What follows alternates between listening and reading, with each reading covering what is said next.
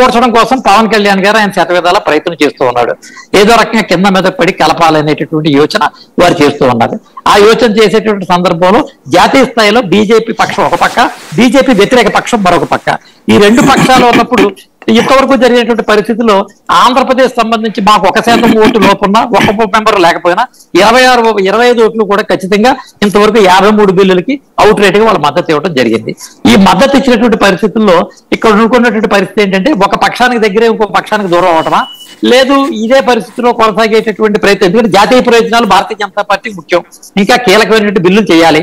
రాజ్యసభలో మాకు చర్చ చేయడం నేను వంద దాకా వచ్చినాయి. ఇంకా మేము ఇరవై ఒక్క స్థానాలు షార్టేజ్ ఉంది.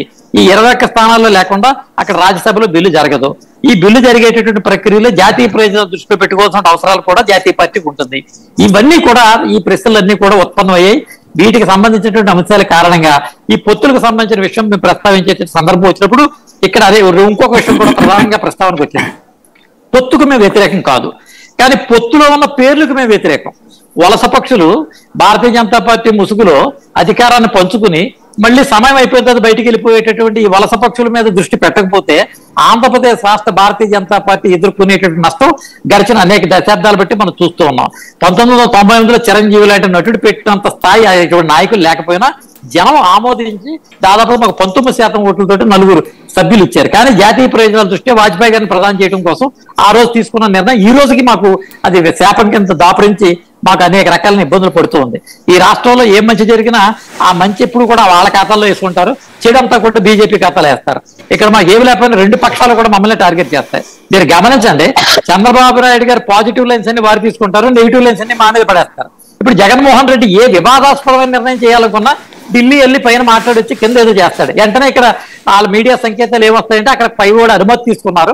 ఆ అనుమతి ఆధారంగా ఇక్కడ పనిచేస్తున్నాడని చెప్పాను కాబట్టి చాలా తెలివితేటలుగా జగన్మోహన్ రెడ్డి సర్జికల్ అటాక్ అని బీజేపీ అదేమో డైరెక్ట్ అటాక్ ఏమో చంద్రబాబు నాయుడు చేస్తున్నారు ఈ రకంగా ప్రజాబాహుళ్యంలో భారతీయ జనతా పార్టీని శత్రువుగా చూపించి ఈ లేని శత్రుత్వం ఆధారంగా లబ్ధి పొందేటటువంటి రాజకీయ ప్రయోజనాల ముసుగులో ఇటు బీసీలు కానీ ఇటు రాజకీయ ప్రయోజనాలు కానీ ఇవన్నీ కూడా జరుగుతున్న విషయాలన్నీ కూడా భారతీయ జనతా పార్టీ నిశ్చితంగా సమీకరించి మేము మా యొక్క నివేదికను కేంద్ర పార్టీకి నివేదించాం.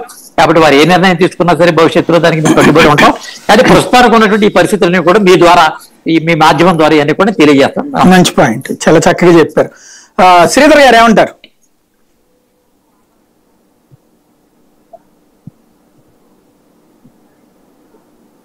సాయి గారు నమస్కారం అండి. అక్కడ ఉన్న పెద్ద వాళ్ళకి ప్యానెల్లో ఉన్న పెద్ద వాళ్ళకి ప్రేక్షకులకు నమస్కారం అండి.